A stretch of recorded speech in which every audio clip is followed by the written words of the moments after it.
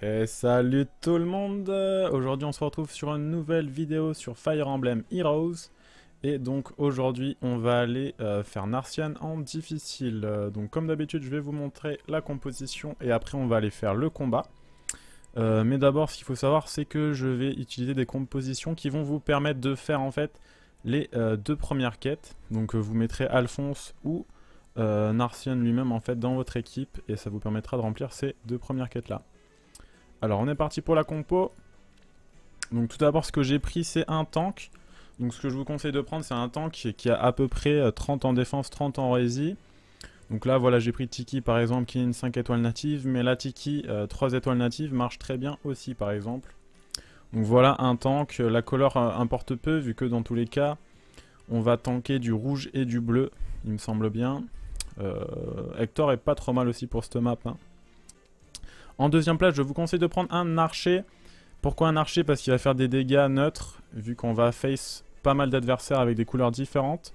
Ce qui va être intéressant aussi, c'est que c'est un anti-aérien. Donc voilà, prenez un archer, euh, je sais pas, on peut le remplacer par plein d'autres archers. Ce qui est intéressant sur lui, c'est qu'il va avoir vengeance. C'est encore mieux si vous avez initiative sur lui, mais c'est pas obligatoire. En troisième position, comme d'hab, ben, la petite Olivia. On a toujours besoin d'un danseur, de toute façon. Et donc en quatrième position, ben voilà, vous avez votre personnage pour faire vos quêtes. Allez, on est parti. De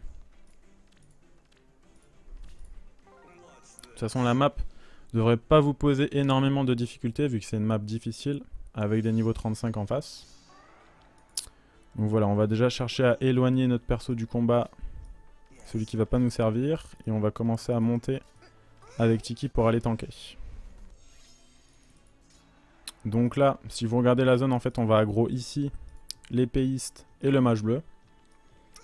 Donc notre tank, il va jamais taper, en fait. Il va juste servir à tanker les deux premiers coups. Et après, on va tuer tout avec Takumi, en fait. Avec notre archer.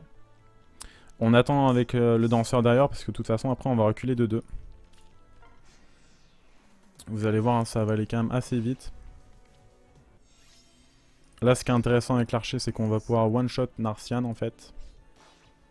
Assez facilement. Là, on va reculer de deux et utiliser le danseur.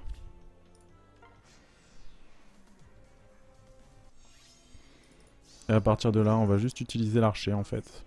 Hop. Pour terminer toute l'équipe en face.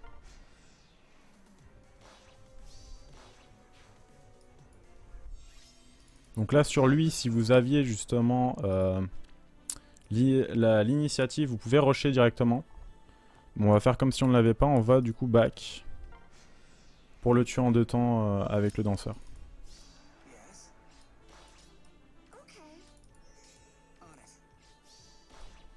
Et voilà.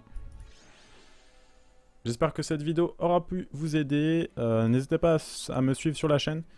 En ce moment, j'ai pas trop le temps de faire de vidéos avec les études et tout, mais euh, j'ai quelques petits guides de prévus encore. Donc voilà. On se dit à bientôt. Salut, salut